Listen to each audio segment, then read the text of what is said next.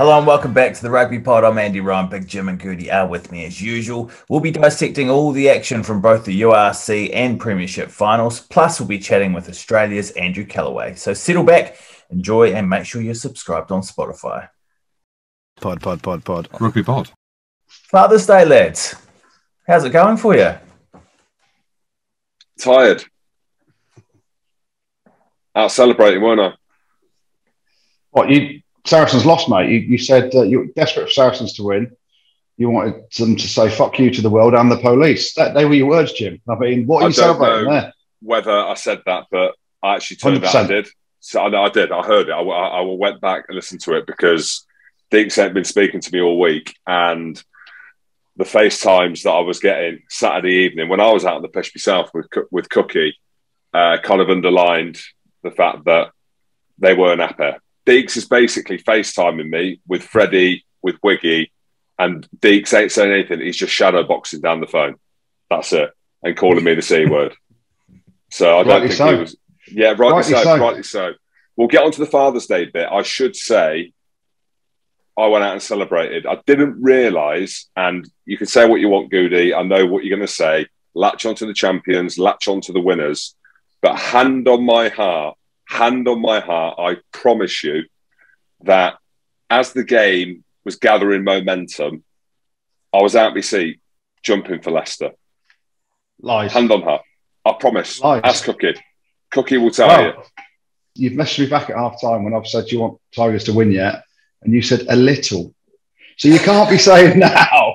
You can't be That's saying oh, I was jumping out my yes. seat. I was jumping out my seat. I was desperate for Leicester to win. You're a turncoat, son. You If you lays- think about the way the game went, and we can get on to Father's Day Nah, in a minute, no, no, I'm telling you now, facts of life, mate. As my you put yourself out there and went I did. Saracens, my team, me one bed flat in Luton, bigger than the studio. I'm desperate for Saracens to win to say fuck you to the world. You can canny now jump on the back of the champions because you're mates with Brett, even though Brett hates you now because you back Saracens.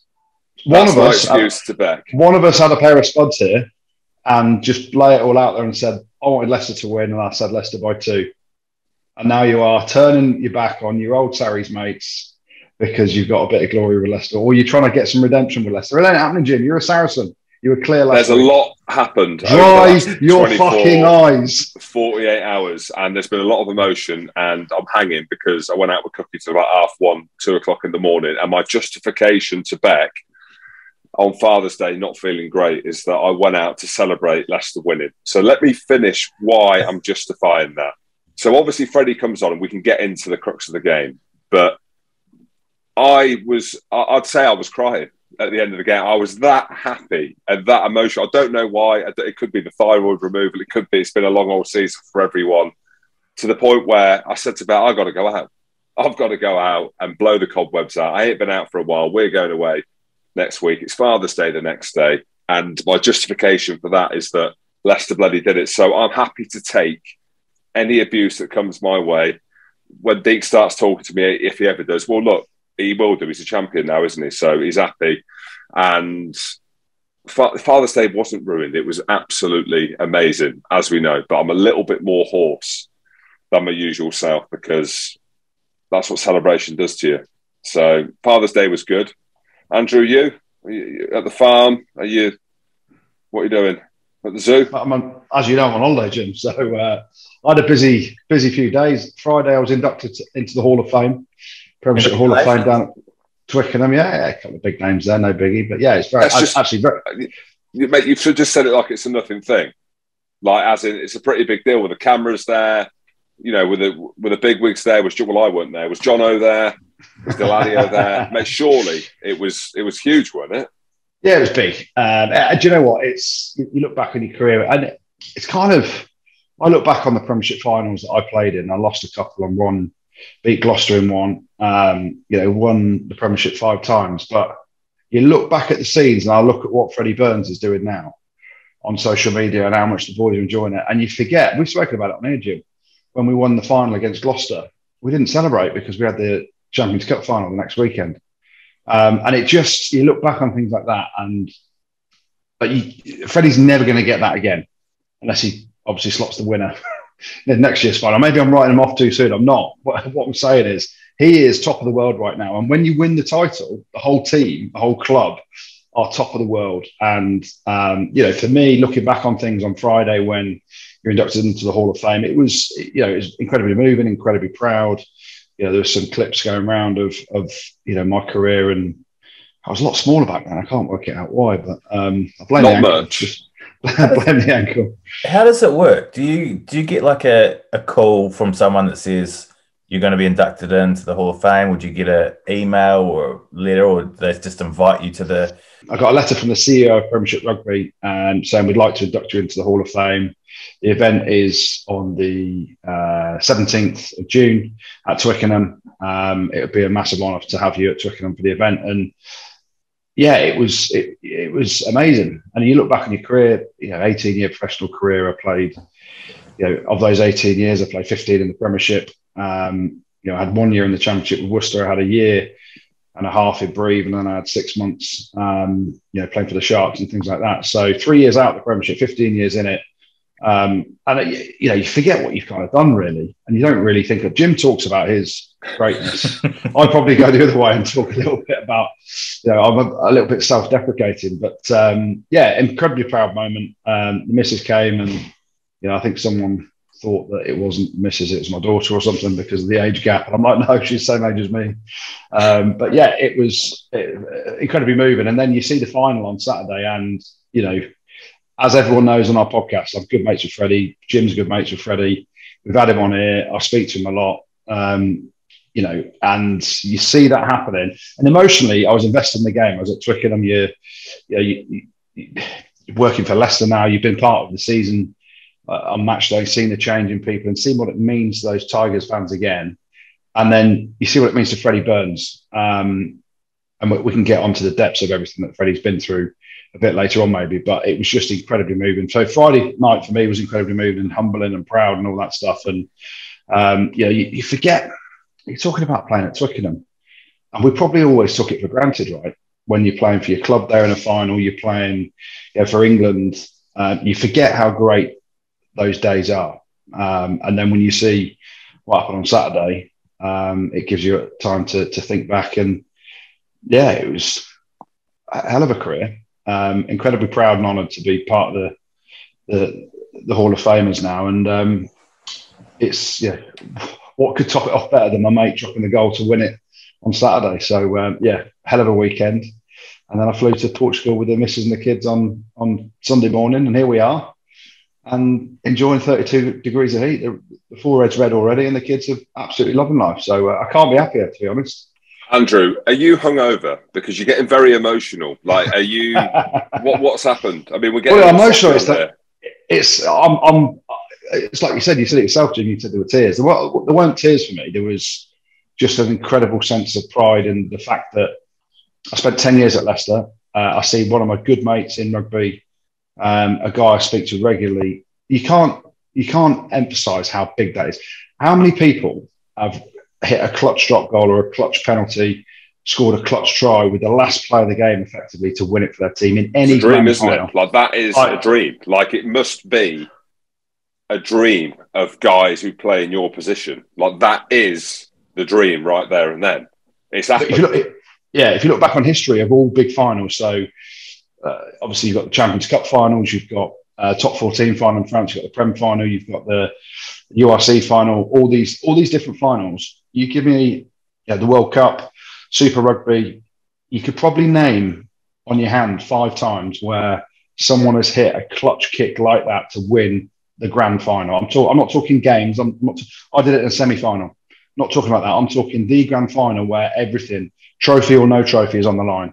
Um, and you know, Freddie, with what he's been through, and seeing the celebration, and seeing everything that's gone on at that club, um, it's just you know, you, do get emotional because you feel a little bit of a part of it, not from the playing side, but from the history and you know, for what I do at the club now, and and and the smiles on people's faces that work hard day in day out at that club. I saw, you know, they were celebrating back at Welford Road, um, and they're singing "Champions of England." We know who we are. we know who we are. I see Rob, the masseur, who has been there at the club Twenty odd years. and some. He was there in about I think he was there in about 98, 99 when I joined. So he's, he's been there 23 years. And he's in the middle of it like he was back in the day when we were winning them. And so it should be. from Leicester. Yeah, absolute hero of a bloke. And that's what it means to people. And that's why you do get emotional. Um, I'm in Portugal. I've been out for dinner with some friends. I've had a few drinks. I'm just over the moon, mate. It's Father's Day. The kids are happy. Leicester are champions. Um, and I'm in the Hall of Fame. What well, doesn't get much better, does it?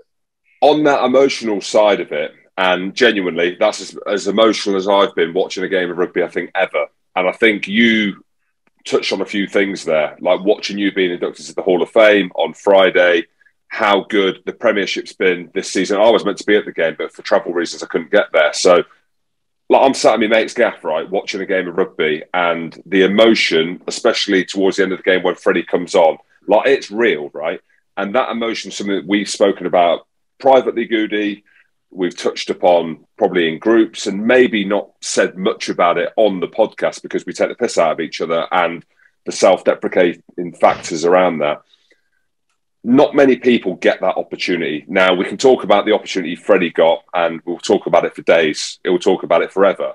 But the emotion to play in a final, not just to play in a final, whether or not it's 20 seconds, half an hour, 80 minutes, extra time, to play in a final, but to win it. That feeling, right now, Dean Ryan said something to me as a Scotland coach, and then he said it to the team. I said, Dean, you need to say this to the team. Dean Ryan, the most successful Scotland coach of any Six Nations generation, not five nations, Six Nations. We finished third, as in a comfortable third, right? Champions and of the third. Champions of nations, we know who we are. That's what it felt like with the bonus anyway. But he said, right, and it sticks with me. And because I tasted what he said, what he said, not what he did, what he said, right? he spat it at you. He said, huh? He spat it at you. He tasted no, it. You tasted it. And it tasted sweet.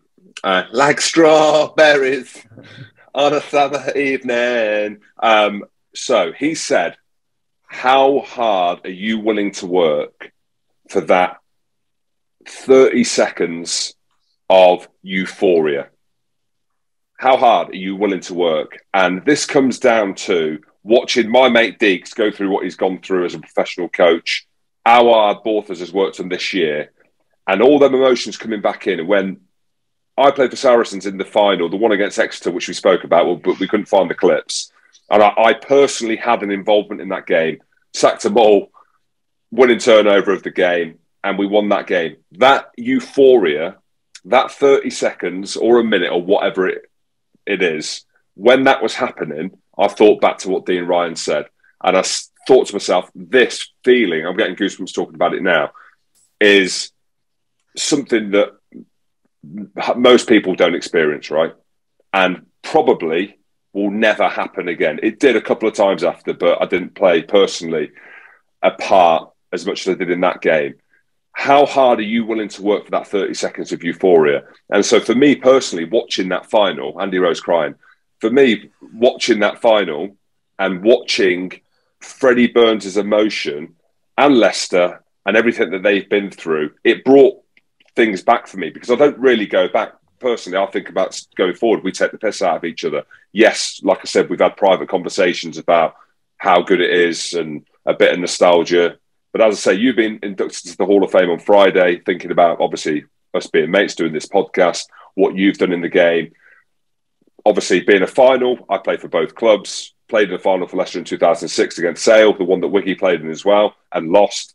But it brought personally back emotions of actually how big a deal it is because winning the Premiership, right, it's a slog. And we've spoken about it before. The amount of games you've got to play, the Champions Cup involved, the Prem Cup, EDF, LV, whatever hell it was called then.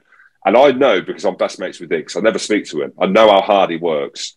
But you saw that vibration, the shaking from Freddie, that kind of euphoria that Dean Ryan said.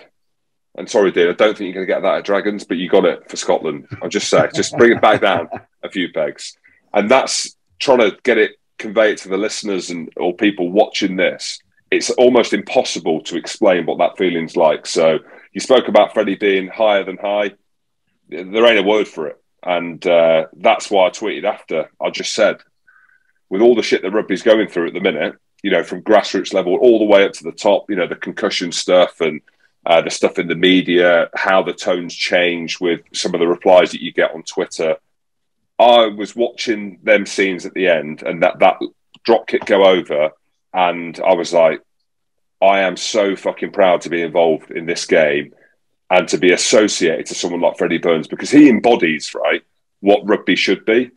And we talked at Faz last week, polar opposite ends of the spectrum in terms of characters, right?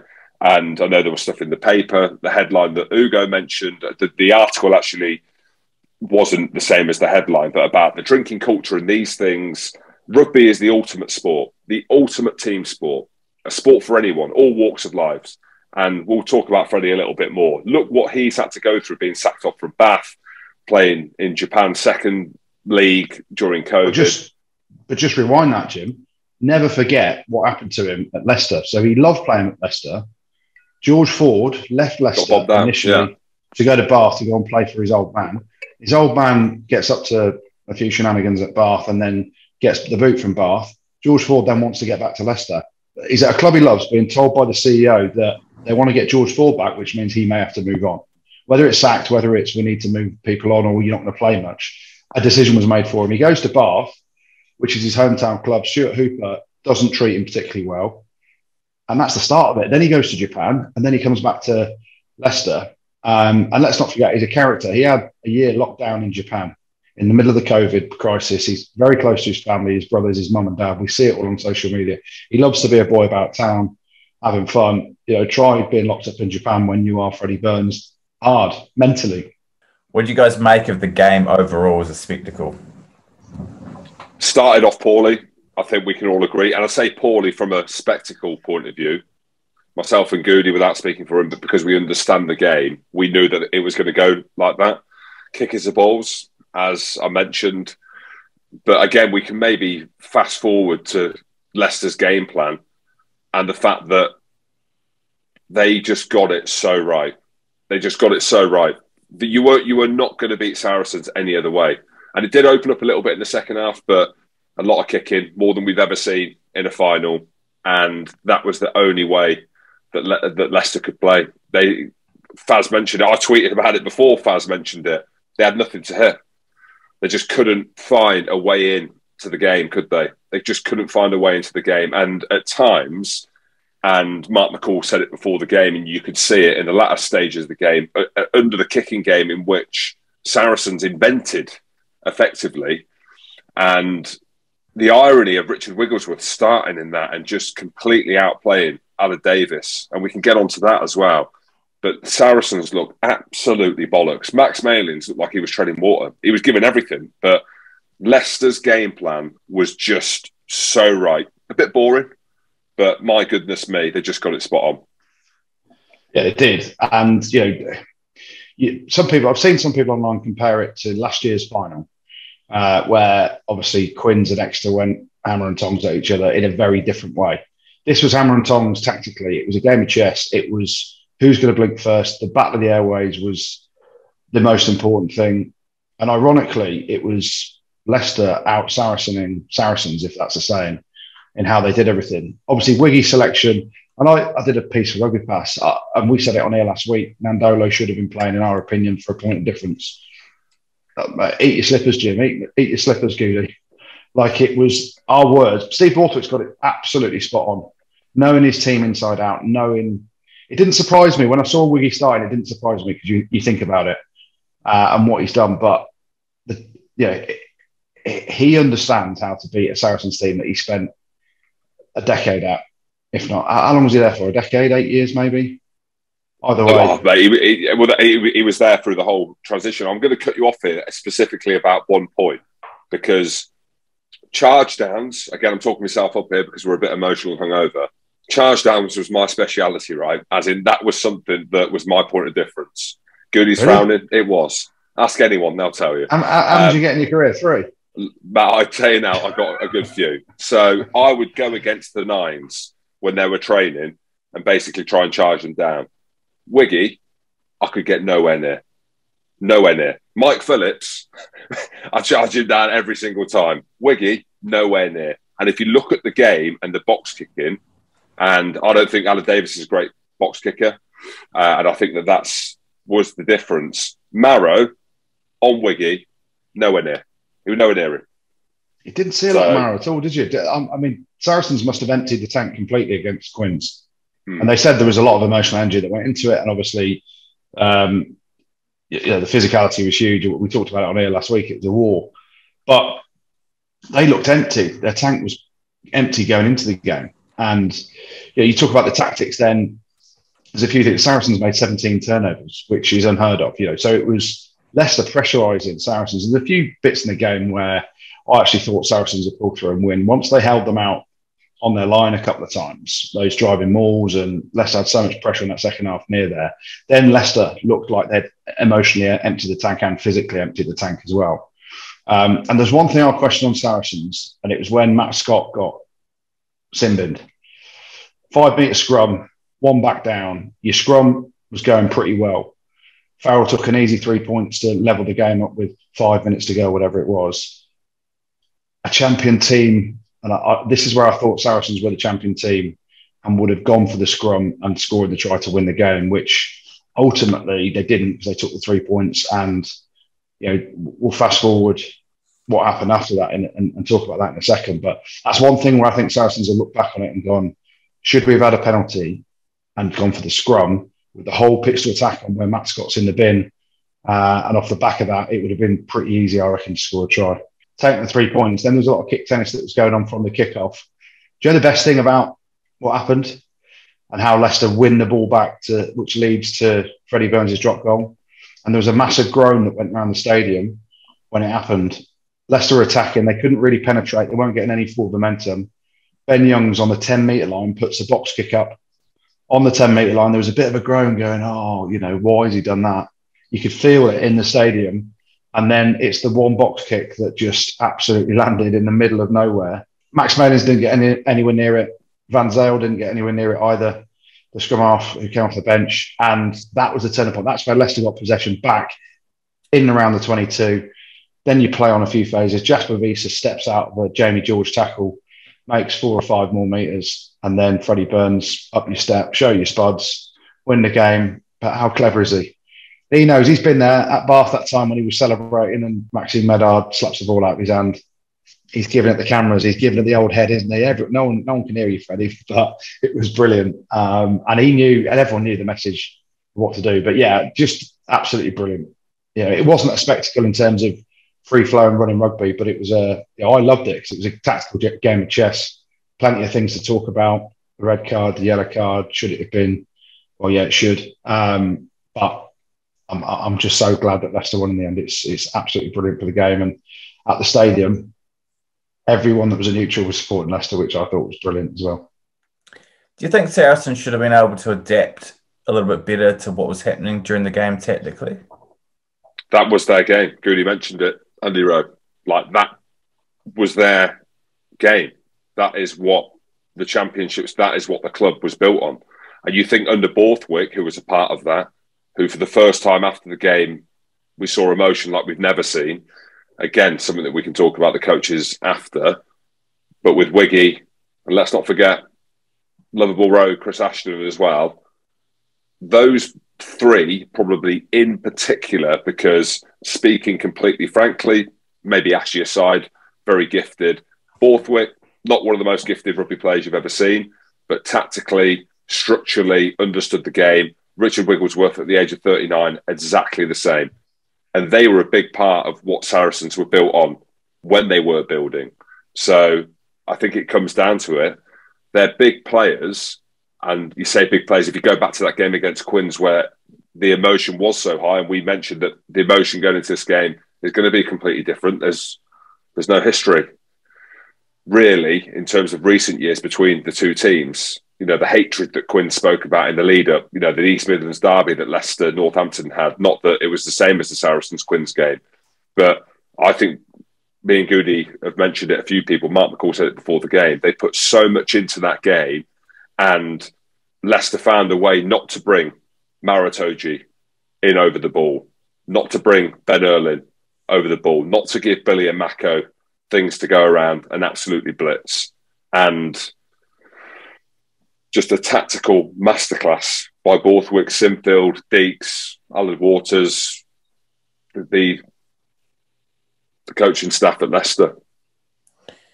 Goody, you mentioned the cards before. What are your thoughts on those two?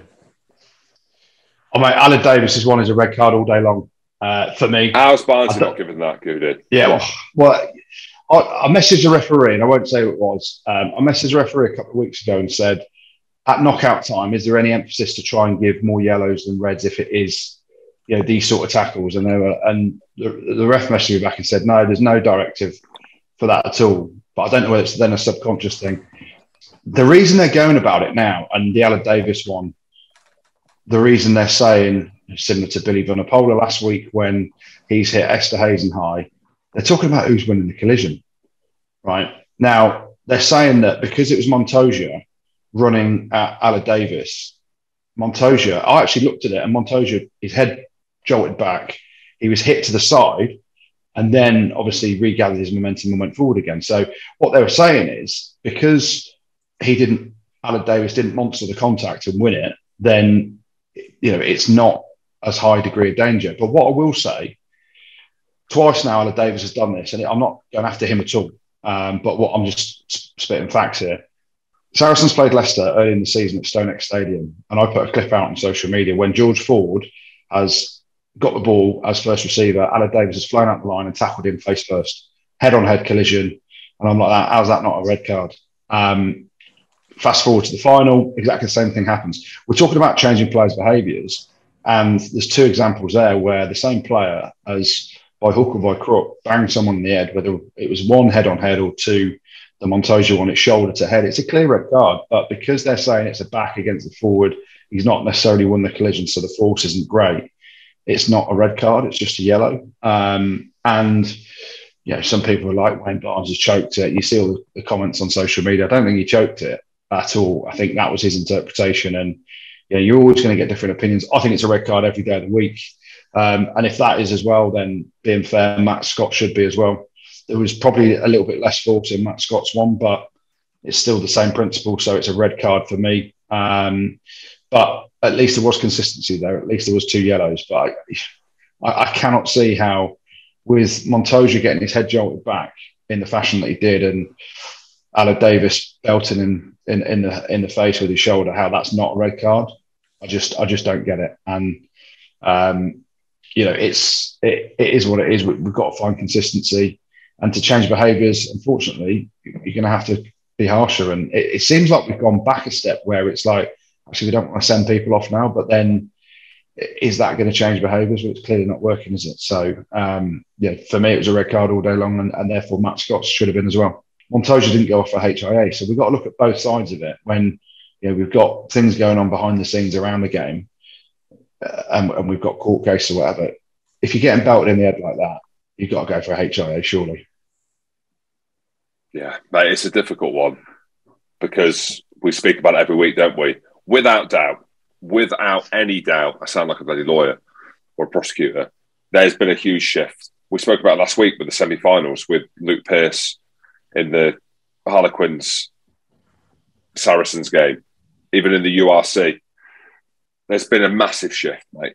Like, as in, you think about where we came from. You think if we go way back, right, to the first player that got red carded, ironically, a Leicester player, Will Spencer, for the adjusting defender. And then we saw Cipriani get red carded as well for stepping in as the adjusting defender. No force at all, but collision with the head, right? And we're all like, man, that's a ridiculous decision. To the point where now, like we're seeing lads getting absolutely, let's say, monstered, like Aled Davies, you know, like Billy's one last week on Esterhuizen, like Will Skelton's, which was ridiculous in the Barbarians England match, like the Matt Scott one. And we're sat there now and we don't want to see red cards. So us as commentators or pundits or fans, we don't want to see red cards, but when it's a red card, you're like, right, that's a red card. And they're red cards. And then there's been a massive shift.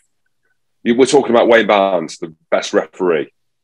Like, if everyone's calling it a red card, Luke Pearce, if everyone's calling it a red card and the referees in the middle, who are the best of the business, there's been a massive shift to not red card players, clearly. And I don't know where we go with it. Obviously, it's a bit of a negative subject when we're just talking about glory today. But yeah, it, it's the, uh, the one big shift. Yeah, I agree with you. And the one thing I'll say on it, you never see much emotion or questioning of things yeah, from Steve Borthwick. Look at the way Steve Borthwick was at the final whistle. There was no jumping around, screaming, shouting, hollering. RJ Smile, it was like a real steamy kind of. Yeah, he but he didn't want to cry. But he didn't want to cry, right? You see what happened when Aled Davies belts Montoya in the face with his shoulder, and then it's a yellow card. He's shaking his head. He sees himself on screen. He's still shaking his head because he's, he's like, i just don't get it. And people, I think people, I, I, was pretty vociferous on it on social media. Um, I think people would have thought, do you know what? If Saracens win, everyone would then be going, well, it should have been a red card, and that would, could have been the difference maker. So that's why another reason why I'm glad that Leicester won, so we didn't have that debate as well. Um, and the mascot one didn't matter because he was off anyway. Yeah, it's effectively a sending off anyway. Yeah. So, yeah, it's you know it's it's a mess at the minute. The way there's a lack of consistency across different referees, different leagues. I've seen a lot of people saying around Super Rugby, you know, they're even more lenient over there at the minute. So it's you know it's a minefield for World Rugby. Goody, Eddie will be looking forward to getting a few of those players from the final back into his squad after today's shenanigans at Twickenham against the Baabaas. Jeez, um, uh, where'd you start? Who takes 50 against a 14 man Barbarians team that have been on the smash all week? You can't drink because it's bad for culture. What you on about? Um, listen, it's their play to the Baabaas, tip the slipper. Shaun Edwards. Do you reckon the RFU are regretting never offering Shaun Edwards a contract? Um, yeah, he was obviously there's a massive French influence on it, um, and it was just two very different teams in what seemed you know absolutely poles apart. You've got a, a bunch of lads that have been chucked together. Um, in fact, both teams would have been chucked together, but England more so have done a hell of a lot more preparation on systems and everything like that. The other team, the Baabaas, the French lads, whoever else was there, Crusoe, you know, the Ashvili, was unbelievable with his with his heel. Yeah, I mean, they have just been on a, having a ball all week in the Barbarians way and have rocked up and you know, Barwell Skelton's ridiculous red card, which we'll talk about. A phenomenal performance, um, fun, laughter, smiles, everything rugby should be about. You go back to Freddie Burns. How good would Freddie Burns be in a Baabaas jersey? You know, it's that's what puts smiles back on faces. You hear some stuff that's said in the press and virtue signaling and things like that around culture and drinking, and you know the Baabaas have put a smile on everyone's face because of the way they played today in England. Um, you know, I know there's a lot of players that are going to come back in from Leicester and, and Saracens, and you know top of the range players in that as well. But Eddie Jones, as, as much as his, his comments after the game have said, you know, it was it's not the real England team. Um, he'll be hurting. I don't want to call any players out. I'm not going to call any players out apart from Crusoe. I just watched that back heel and it's gone viral, Andrew, on your social media platform. And I don't know. I, I, I just think you're taking the piss there a bit. Like it's his old team. Like it's his last ever thing to do. Should you have a bit of humility, or is it just like back, back heel gets it? Um, I, I don't know. I don't know. Like obviously, I like stuff like that, but I just watched that and I was just like, I don't know whether because they had 50 points put on them, just a bit of a piss take. And obviously, Eddie after the game did an interview and he's like, "Oh, it's about." He literally just said what you said about having a smile on your face, but then someone mentioned about, you know, the performance of some of the players, and he just like went went off on one. I was like, "Mate, you just said it's about having a smile on your face," and completely contradicted himself. But you can't take a Ravo's arm right against the barbarians who've been on the pitch all week. You, you, just you just can't. Now, yes, it was a scratch England team or whatever.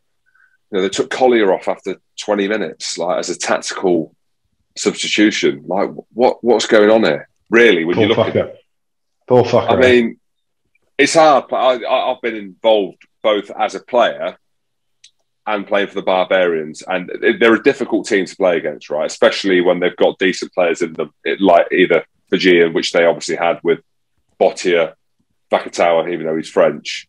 But then you've got French players Jouet, let's stereotype again.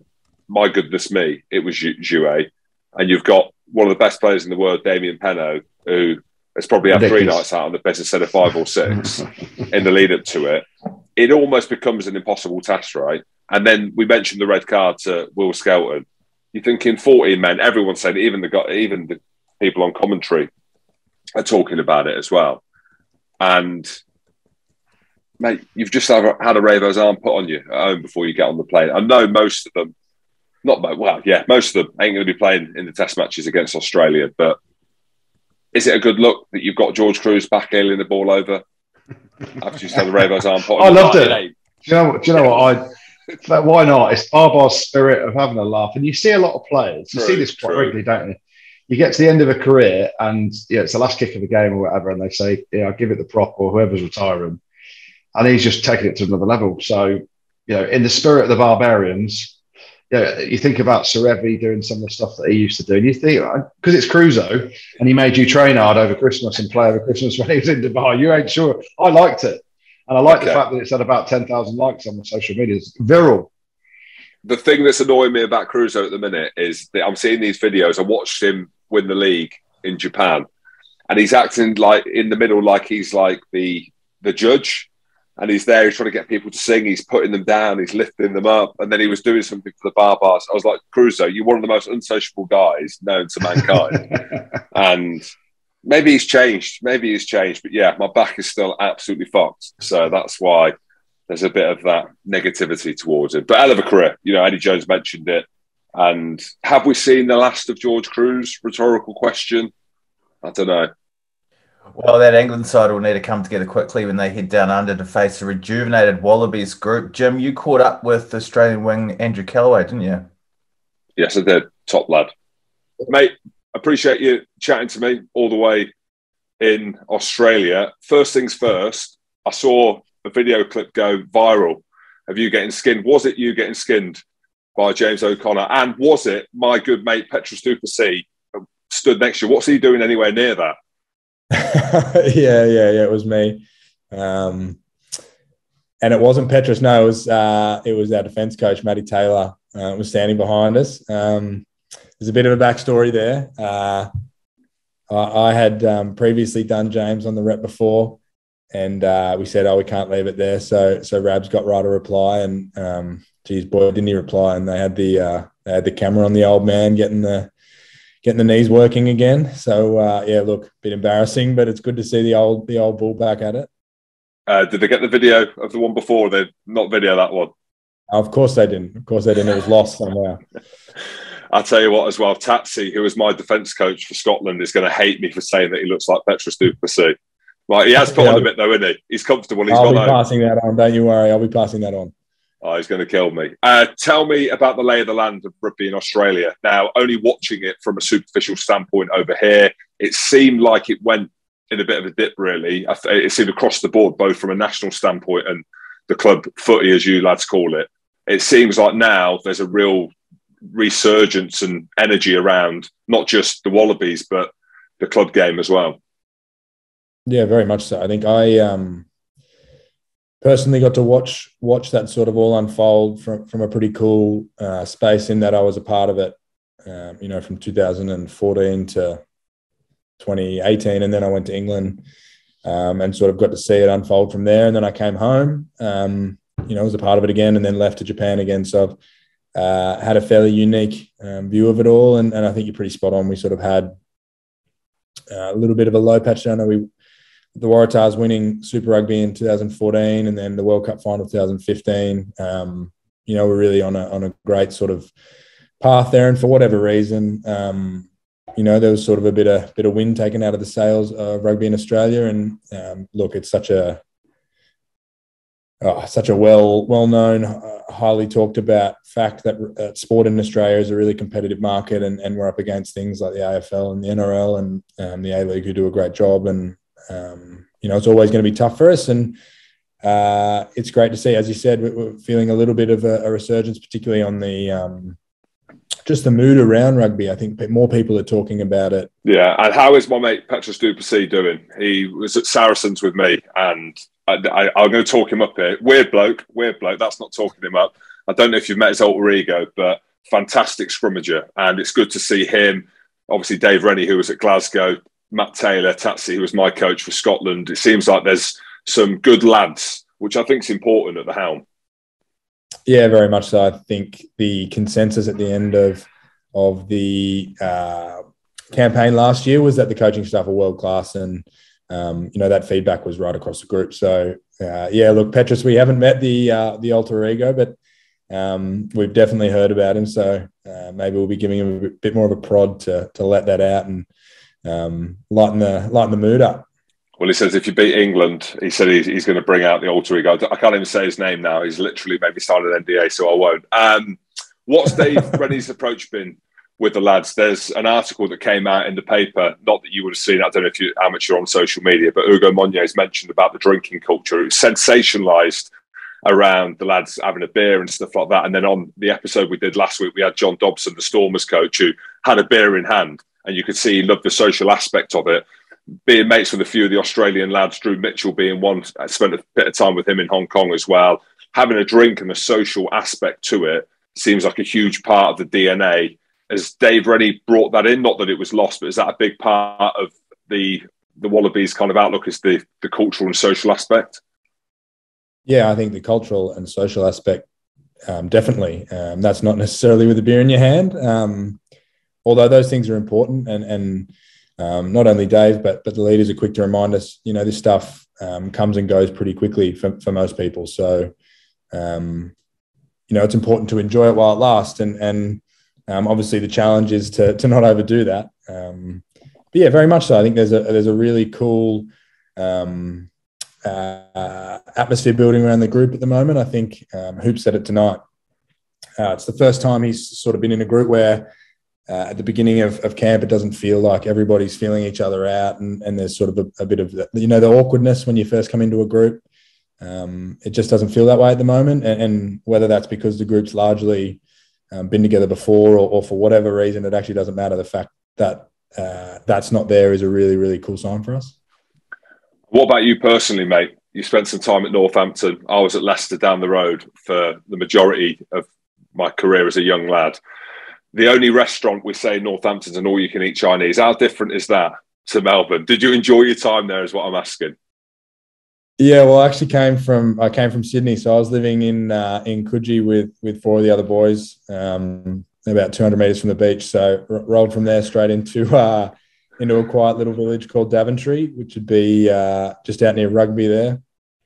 Um, yeah, mate, it was a baptism of fire. Like it was intense. Um, rolled straight into to what was um, well, what the UK uh, media um, loosely termed a heat wave at about 28 degrees, um, which was interesting. And then, uh, yeah, look, I mean, the first two months probably of my time there were maybe a bit of a struggle. I think, yeah, I was what 22 and um, I'd just been I just left the team I grew up supporting and spent sort of five years at and thought I'd be out forever. And um, yeah, I mean, I had some pretty pretty tough lessons to learn, and they all seemed to be hitting me at once. So yeah, the first the first two months in England were tough, really tough, um, as you would expect when you move across the world to a to a new team. Um, but after that, uh, geez, I love that place, mate. Um, the group at Northampton, and, and it's largely the same now. They haven't had too many um, changes uh, was fantastic. And um, I mean, they went down to Leicester on uh, last weekend, wasn't it, in the semi? Um, but so cool for me to be able to see those guys uh, who were mostly young academy guys at the time, you know, Furbank, Dingwall, um, Coles, um, Painter, all those guys who, you know, you know, are now uh, fully fledged members of the of the first team and playing week in week out, and um, yeah, I mean, I look back really, really fondly on my time at Northampton, and I think, as I said, yeah, I learned, um, yeah, I learned some pretty hard lessons, some pretty interesting ones, and um, I was lucky I got to have a good time doing it. Yeah, I'm telling you now, that is a baptism of fire wherever you're from. Like even if you come from down the road, like living in Dav- Daventry, you've come from Australia in Sydney. I mean, I don't want to say it's a shithole. I'm from that area, but it is kind of a bit of a shithole compared to Sydney. So good on you. You know, as a young lad, it's not easy. You mentioned the media hysteria around the weather one of the other hysterias in rugby is around Eddie Jones. What did you think? What did you make of the media around, you know, Eddie Jones obviously um, coming to be head of England, being an Australian? Is it the same in Australia as it is here when it comes to rugby, or is it very different? Oh, look, it's different. I think it's it's um, yeah, rugby is very much. Um, uh, I, I, would say just out and out, it's bigger in the, in the UK, in England particularly. Um, that being said, uh, when you see an Aussie take the reins of of uh, you know argu- arguably your biggest um, your biggest uh, competitor, so to speak. Um, yeah, it's quite a weird one. I think initially, quite a lot of people were pretty pretty stoked to see an Aussie um, in charge of, of England, um, but then I suppose the the realities of that come uh, come back to it, and um, all of a sudden they're going pretty well, and it's like, oh, hang on, maybe maybe we should have had him back here, and all that sort of stuff, which is which is really funny. But look, yeah, I don't I don't know Eddie um, personally. I haven't actually had anything to do with him. Um, but uh, yeah, look, he's a Randwick bloke. I'm a Randwick bloke, so he must be a good fella.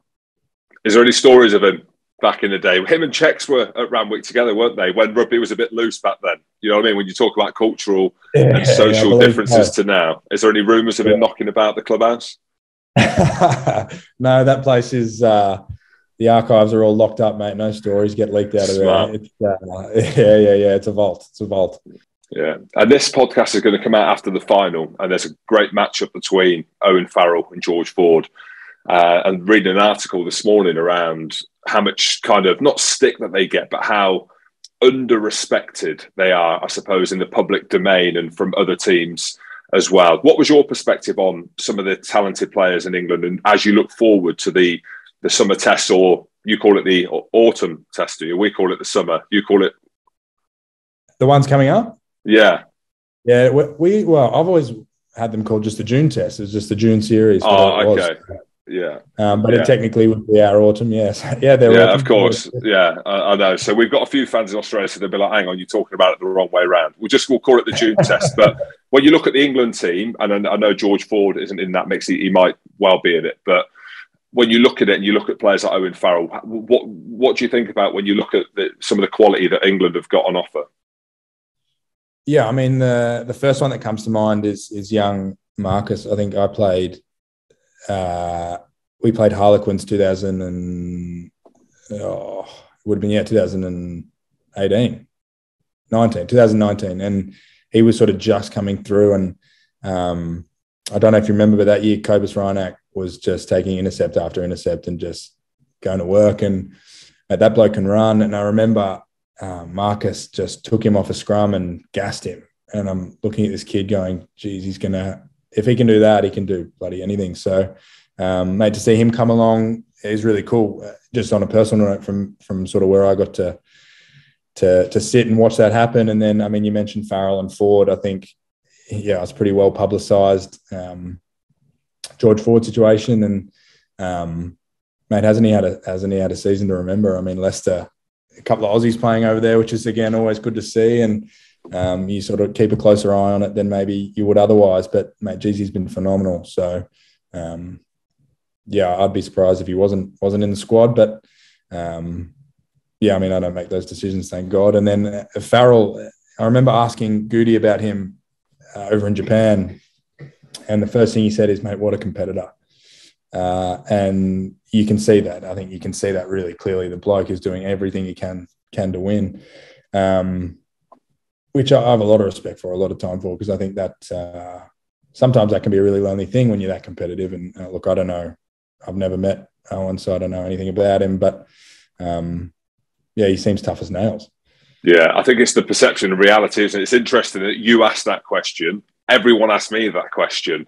There's this kind of hmm. enigma around him, you know, because you see him on TV, you see his face, he is that ultimate competitor. There ain't many of them like that in rugby. He mm. doesn't do much on social media. I bet you don't have a TikTok account. Like, not that that's a thing. Do you know what I mean? But that can be like yeah, a perceptual yeah, yeah. thing around around the media.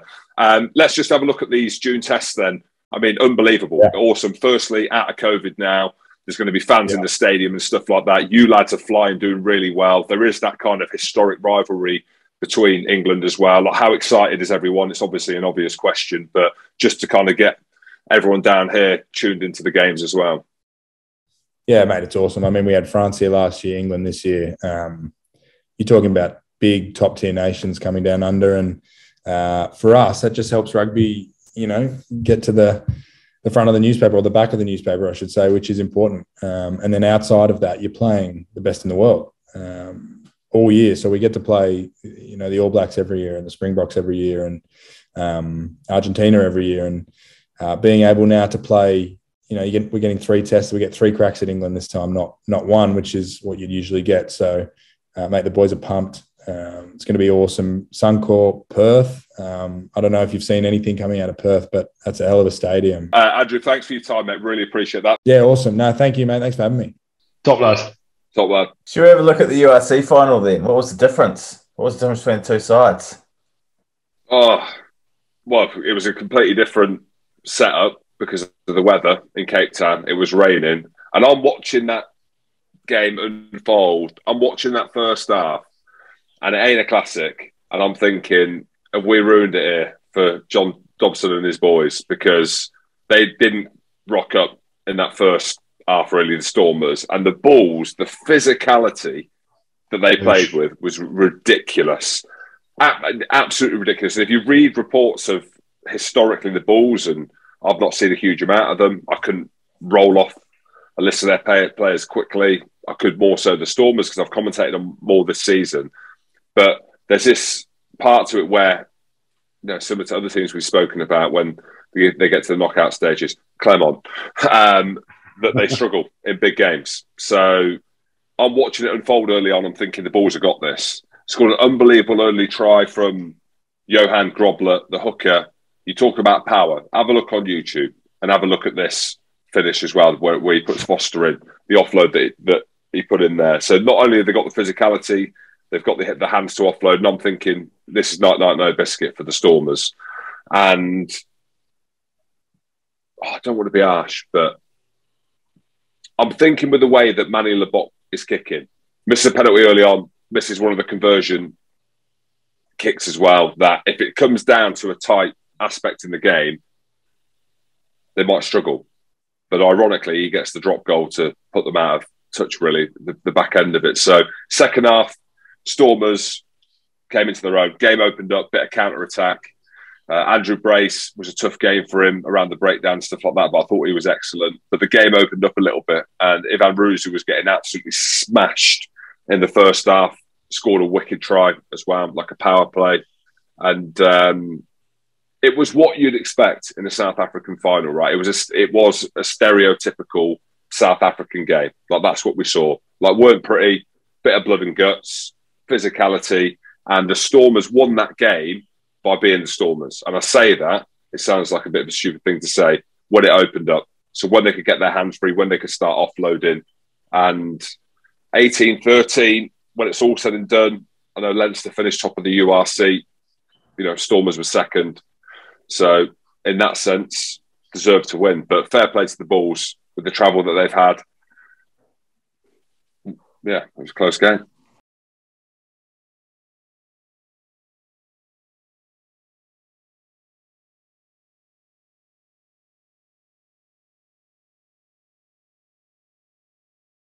change room wall. And John Dobson was great. I had loads of comments. I actually had a comment in the pool today from a bloke. Um, he came over. He lives in Botswana, Irish guy. I'm not going to name him, but I think he was called Paddy. Um, and he said, "Oh, you know, I loved the podcast last week when Job. How good a bloke is John Dobson?" I'm like, "Yeah, mate. He really. How lucky were we to get him on?" And I've messaged him over the weekend, and he said he hasn't slept since the final. He's he said out. to me, he said to me that he's told his wife that there's a hotel debriefing I'm shot through. what a ledge. But yeah, I mean, delighted to have him on, and obviously they're going to win it. But then you mentioned Andrew Brace. I thought he had a good game, Bracey, and I've become yeah, friends with Bracey now. So he had a really good game. There was a whole lot of kicking in this final as well, in the URC final, uh, 87 kicks in total. Premiership final is 105. Just the kind of rugby you expect when it gets down to the big game. Andrew, this is on you, mate tactics. Yeah, I mean, finals rugby, three of the teams out of those four in the finals. So Saracens, Tigers, and the Bulls, their game is based on oofing it, chasing it, being great in defence, and being physical. Three very similar teams how they, are sort of set up. Uh, Stormers, obviously, we, we chatted about last week. They, they love to play it a bit, but when you're playing against a team that does hoof the leather off it, you have to join in that a little bit so you're not just running it out from your own half all the time. And you, you temper it with a, you know, the conditions obviously played a huge part in that first half, especially out in Cape Town. Um, but like Jim said, the Stormers when they put a bit width on the ball, when they got their offloading game going, um, yeah, it adds another dimension. And it, does it surprise me in finals time that, that teams go risk averse, or is it that three of the four of the teams are playing to their huge strengths? And um, you know, you're certainly not going to see that many kicks from you know a Harlequins or you know a team that has a different ethos about how they play. But these are the four teams that got to the finals, and you know they've done unbelievably, unbelievably well to get there. And then you get to a big dance, and you know you do go a bit risk averse, and, and weather conditions in that URC final played a huge part in it. I do need to say this around watching this final and watching the way that Bulls beat Leinster and the effect the South African teams have had on the URC. I worry now for the rest of the teams. And I suppose this was maybe the dream, but maybe the worry as well for the organisers in this. If you think about the URC, right, as a whole this season, the start of it when the teams come in, the way that the South African test fell is that they couldn't play for the beginning part of it, right? For whatever reason, the travel, the COVID bubbles, for whatever reason. If these teams are fully loaded, and you think about Natal Sharks, they've got Eben Etzebeth coming back as well. Uh, they've got a wicked team on paper. Uh, they haven't really done much this year, and you can understand why. Obviously, a lot's happened. The Stormers and the Bulls have, have taken it by storm. All I'm saying is, poor Dragons, Ospreys, Cardiff, Scarlets, Glasgow. I know Edinburgh gave a decent showing of themselves, but Zebra, Benetton. So you're thinking, how are these teams going to compete with that? Like, I'm watching that the weekend. I'm thinking, actually, if these are fully loaded and they're playing at their ultimate level, they've now got a bit between their teeth. You saw what it meant to the Stormers to win it, so it's now a thing. Winning something in this competition, Europe trying to make it into the Champions Cup. What chance do the rest of the teams have? Do you know what I mean? So you said you said it. Yeah, you said it then, Jim. The other caveat to it is this year those teams they had some tough times, the South African teams at the start of the season, and it's them also getting used to this Northern Hemisphere season. So, you know, in terms of how much they rest players at the start of it, you know, I said it before in the podcast, they ain't used to playing any rugby before the end of January, are they, in terms of club rugby? Because that's when historically Super Rugby started. This season coming, now we're at the end of the season, this next season coming, chuck in Heineken Champions Cup rugby and they've got more travel um, you know, December when they're coming off. A lot of these African players will be coming off the back of you know the rugby championship and everything like that. The, winter tour when they they're used to you know having time off. Um, they'll have to temper that as well, and and maybe it works for them because they reach a crescendo at the end of the season. They don't play too much at the start, and it suited them this year because they didn't have the Champions Cup to deal with um, or the Challenge Cup. Um, but next year they will. So it might be that you know, it's a it's a fantastic beast in these South African teams coming after the URC. Uh, but they've got another layer to, to look at next year in terms of how they manage the workloads and, and the, the games around Europe and the travel with that as well, which may take out, away some of their energy reserves later in the season as it affects other teams. Do you think it was good for the competition to have an all South African final? Not for the competition. I don't think so. Uh, for South African rugby, absolutely, yeah. But I wonder what the viewership was from a URC perspective in Ireland, let's say. And I say Ireland because obviously Leinster, Ulster, Munster, you've got three huge teams, well supported. Connacht as well, but I'm talking about teams that are generally there or have a desire to be there or thereabouts. Not that Connacht don't, but I wonder how many people watched that final across the board. I don't know what the numbers are. Uh, for the growth of the tournament, yes, having two South African teams in there for the reasons I've just said. But for the URC, I bet if you asked them properly, who would you want wanted there, they would have said a South African team and Leinster in the final. Where, where was but, where was Jay Z? All I'm thinking is, you know, Roc Nation, Jay Z is going to be No, no sign of it. Smoking mirrors. Smoking mirrors, mate. Literally. Let's take a look ahead to the summer tours now. Then Scotland, Argentina, Jim. What are your thoughts heading down down south? Well, my worry is Chile first up. Who knows? Can't work Scotland out at the minute. So, in the shadows of the other tours that are happening, and normally the summer tours I'm not hugely bothered about. Uh, I'll be honest with you. Personally, not that anyone gives a hell what I think or want, but it's nice to have a bit of a break. But this season, especially in the lead up to a World Cup, the fact that I'm commentating on the Scotland Argentina game, from a Scotland perspective, this is massive, right? Because of, again, we're going over old ground, but we've got to to look forward. Think about what happened in the Six Nations, how poorly we performed, the, everything that happened around Finn with Hoggy. They're not touring now. And we need to try and gather some momentum from somewhere. No disrespect to Chile, as much as Gregor Townsend has talked them up. You know, it should be a cricket score against them, in all honesty, whatever team we put out. So the Argentina games are the ones. And the Argentina have become a bit of a rivalry for Scotland. Uh, I remember in 2010, went down there, guilty. Fuck the self deprecation. Scored a try out there, had Mar del Plata, a pick and go, and we beat an unbelievable Argentinian team down there. But there's history in previous World Cups 2007 knocked us out in the quarter final. 2011, Contepomi was about 40 metres offside, and Wayne Barnes weren't bothered because he like Scotland. Uh, but going forward to the World Cup, when you look at it, Uruguay in Scotland's pool, South Africa, Ireland, it looks like it's going to be tough. Why did I even put Uruguay in there to say it's going to be tough for Scotland? Because they nearly beat Japan. Need, that's why. I knew there was a reason why. But also, you need to beat them to make sure you qualify for the next World Cup as well. That's that's a question for Scotland at the next World Cup, pal. Imagine finishing lower than Uruguay. Come on, Uruguay. Who knows? Anyway, it's amazing how quickly it shifts. Eh? Look at Glasgow, lose the coach, looking for a new coach. Scotland's a big tour. Grant Gilchrist is captain, brilliant for Edinburgh. He was picked as captain of Vern Cotter. Has been trying to get back to a bit of form. He has done. It will be in the shadows to the other games that are being played, but I think the importance of these June tests for all the teams, but for Scotland as well, is for the reasons that I've just said, because there's a World Cup in a year's time after that. So, um, without stating the obvious, we'll know more about the depth of the Scotland squad because Hoggy's not touring, Finn's having a bit of time off as well. And uh, we need to look what Scotland looked like without our two star players. What do you think will be the result? I think Chile we'll scrape past Chile.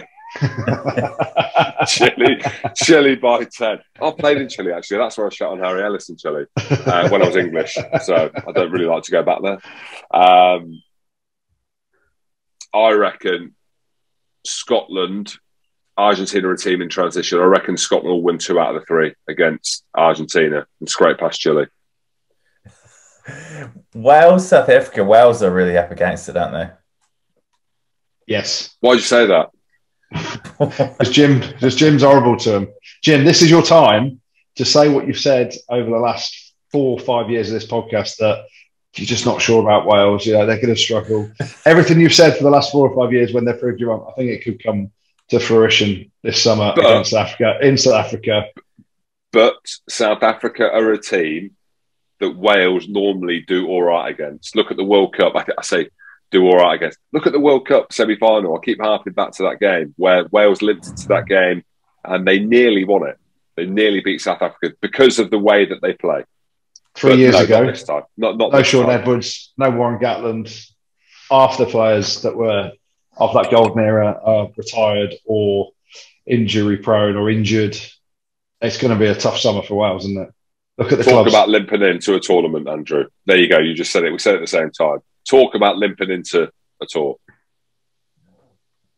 StruggleStreet.com, 3 0 to South Africa, I think. I reckon so as well. Do you think, how do you think Ireland's going to go down in New Zealand?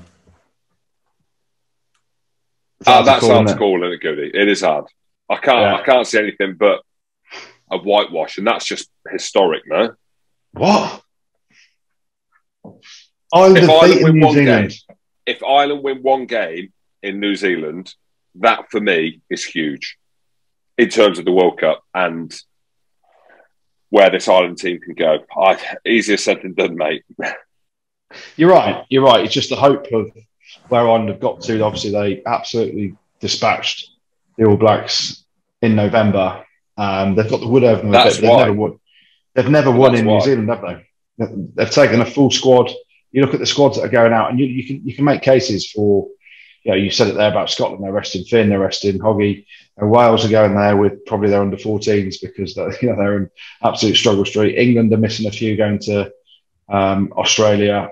Ireland, full noise, absolutely full noise going down to the All Blacks and facing you know everything that is so great about touring New Zealand. Um, you know, and New Zealand will be hurting. That you know that they'll they'll want retribution for Ireland embarrassing them. The England Australian series is going to be interesting, isn't it? Eddie Jones going home. Does that sound weird or not? As an English fan, Andrew, Can we leave him there? I reckon he might stay. I don't think so. I don't think so. No, it's yeah. I mean, last time we went there was the first year that he took over, and we got a three 0 whitewash of the Aussies in their own backyard. And Eddie was the best thing since sliced bread. There's a lot of pressure on Eddie now. You look at the last two Six Nations. Um, you know, we know he's safe going through to the World Cup, but imagine if we lost three 0 um, I can't see it happening, but imagine if we lost three 0 and Eddie Australia are good. The Yeah. they are a good team, mate. They are very good. You look at what they've done in Super Rugby. You know, they've surprised a few of the Kiwi teams. Some of the names I like. Paisami, Valetini at eight's a quality player. You know, there's a lot of threats there. Um, you know, and if they can pull it all together, they've got Quade Cooper back, Corey Betty, they've got Kerevi's going back there. They've got the boys back, and it's going to be tough for England. And like Andy Rose said, look at the Saracens' boys in the final. The tanks are empty. We're playing Australia in two weeks. You know, you look at all the rugby that's been played, and you forget. I think the last time we went to Australia when we won 3 0, Australia were probably lower than the Snake's Belly in terms of where they could be in rugby terms. Now they're sort of riding the crest of a wave. There's a lot of hope there. They've got the World Cup in uh, 2027. You know, there's a lot of positive chat there around what the game is doing. They've even got the, the cojones to come out and say we, we might walk away from Super Rugby as well. So they're backing themselves.com. And, you know, for England, it's going to be a tough three weeks. Um, I hope England win. I think we, I'm going to say we're going to win it 2 1. Let's finish things off with a couple of shout outs. We've got the NAGS charity barbarians who are raising money for Cancer Research UK. A weekend of men's and women's games on the 24th and 25th of June. So you can check them out on Instagram to get involved. That's the NAGS charity barbarians team. Uh, yeah, I mentioned it last week, but the Nomads they absolutely dusted the Crocs over in Christchurch this weekend. So massive shout out to them. But also a, hu- a huge shout out to Derby Bucks mixed ability team. Uh, they're just back home after a week in Cork playing in the Mixed Ability World Cup. Hell of a week out there, hell of a team. And also to Bolton Rugby Union Football Club, their under 15s who have invited Briganti RFC from Sicily to be their guests in August. Uh, it's been a trip that's been years in the making, so enjoy that one, lads. Thanks, Gertie. Thanks, Jim. Thanks, producer Tristan. And thank you very much for listening. That's it. That is the last episode of the season. But don't worry, we've got some exclusive interviews and lots of other content planned over the summer. So keep an eye out on our social channels for that. And of course, make sure that you're subscribed on Spotify. Rugby Spod. Spotted pod, pod, pod, pod, pod.